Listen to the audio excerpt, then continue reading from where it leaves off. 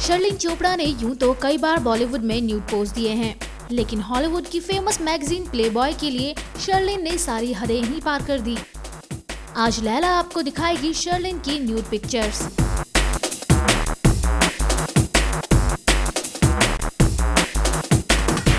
शर्लिन की ये तस्वीरें एक्सक्लूसिव नहीं है, बल्कि शर्लिन ने इन्हें खुद अपने ट्विटर अकाउंट पर पोस्ट किया था।